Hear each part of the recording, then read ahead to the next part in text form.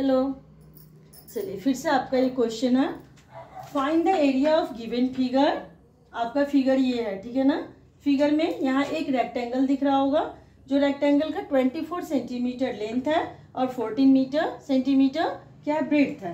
तो सबसे पहले हम इसको, इस फिगर को दो भाग में, दो पार्ट में करते हैं. यहाँ पे एक ट्रायंगल दिख रहा है, दो ट्रायंगल दिख रहा है और एक रेक्टेंगल दिख रहा है, जिसमें रेक्टेंगल का लेंथ 24 सेंटीमीटर और ब्रेथ 14 सेंटीमीटर है.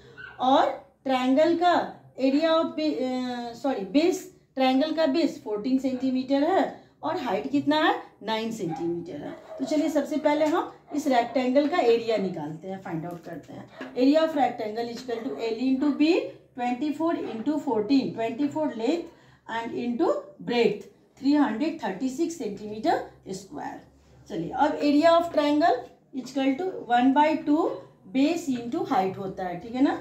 One by two base into height. One by two base कितना है? फोर्टीन सेंटीमीटर, दोनों इक्वल है तो fourteen centimetre into nine centimetre, ठीक है ना? ये नाइन है, नाइन सेंटीमीटर। अब इसको हम रिड्यूज कर सकते हैं। टू सेवन जा फोर्टीन, सेवन नाइन जा सिक्सटी थ्री सेंटीमीटर स्क्वायर ठीक है? अब यहाँ पे ध्यान दें, यहाँ पे दो ट्रायंगल्स है और दोनों का बेस और हाइट सेम ही है। तो मैं बस एक ही बार फाइंड आउट करके और टू से मल्टीप्लाई कर दी हूँ।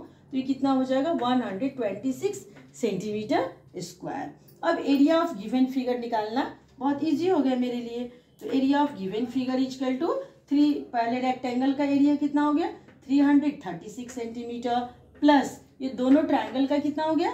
One hundred twenty six centimetre दोनों को मैंने ऐड कर लिया और ये हो गया 462 सेंटीमीटर स्क्वायर ठीक है? चलिए फ्रेंड्स अगर कोई प्रॉब्लम हो तो प्लीज़ कमेंट कीजिए। मैं सोल्व करके भेजने की कोशिश करूँगी। ठीक है ना? ओके क्लियर दिख रहा होगा। ओके फिर मिलेंगे अगले वीडियो में। तब तक के लिए बाय बाय